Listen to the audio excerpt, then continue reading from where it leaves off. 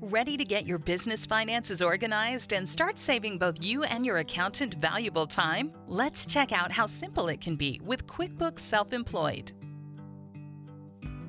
When you sign in, the first thing that you'll see is the home page.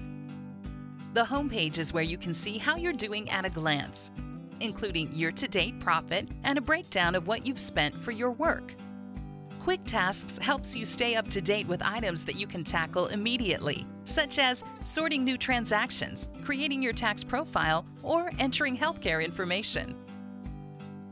When you're ready to look at transactions in more detail, you can jump to the Transactions page using the left-hand navigation. If you choose to securely connect your bank account or credit cards, all of your income and expenses will auto-populate here. You can also upload Excel files or manually add cash transactions. When transactions come in, they show up as unreviewed. You can then sort transactions in seconds by clicking Business, Personal, or Split. Still using one account for everything? Not a problem. With QuickBooks Self Employed, you can easily sort business and personal expenses from within a single bank account. And for when you're on the go, staying organized is as simple as swiping left or right with the fully integrated QuickBooks Self Employed mobile app. As you separate transactions, you can easily classify them by Schedule C category. Just select the item in the category column and scroll through a list of expense categories to choose the right fit.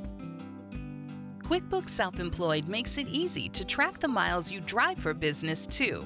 To start, click Miles in the navigation bar. Click Add Trip, fill in the information, and click Save. A new trip is then added to your list, with the mileage deduction automatically calculated and displayed. And the mobile app makes it even easier. With mileage tracking turned on, any trip you take is automatically recorded and placed into a list to be reviewed later. When you're ready, you can go back to the list Swipe left or right to classify the trip as business or personal and enter trip notes. The app takes care of the rest. The Reports page is where you can view, download, and share a P&L, a tax summary, and a detailed tax report with your accountant or tax professional. Let's take a closer look at the Tax Details Report. This report provides you with detailed transaction data in Excel format including Schedule C income and deductions, and a complete breakdown of all transactions sorted by Schedule C category or quarter.